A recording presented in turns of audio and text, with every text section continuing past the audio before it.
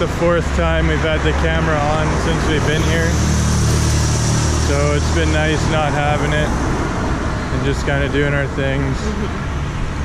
This is probably never going to end up in the vlog because we're not actually saying complete sentences that make sense. because we haven't had the camera on for the last four weeks. This is the gym we've been working out at in Lima for the last month. We've been coming here five days a week and it's been really good to us. The language barrier's been tough, but when it comes to sports or working out, usually the language is similar, so it's it's easy to catch on.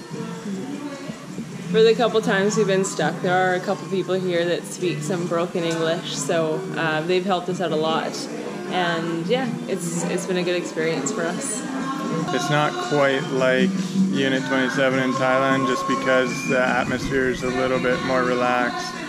It's not a bunch of people here coming to get fit. You know, they're not flying in from destinations. It's uh, local people here just working out, and I think a lot of them head off to their jobs after they work out here. So it's really a relaxed atmosphere, and it's been really good to us. We've been really happy to be back at it. We've both noticed changes right away, well, pretty well right away in our bodies.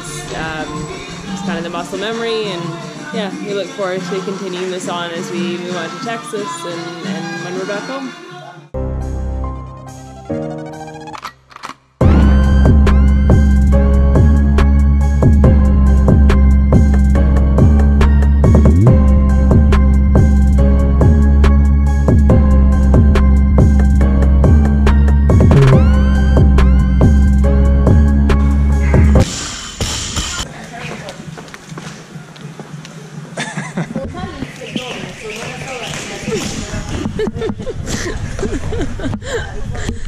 So it's our last cheat day for probably two weeks, Yeah.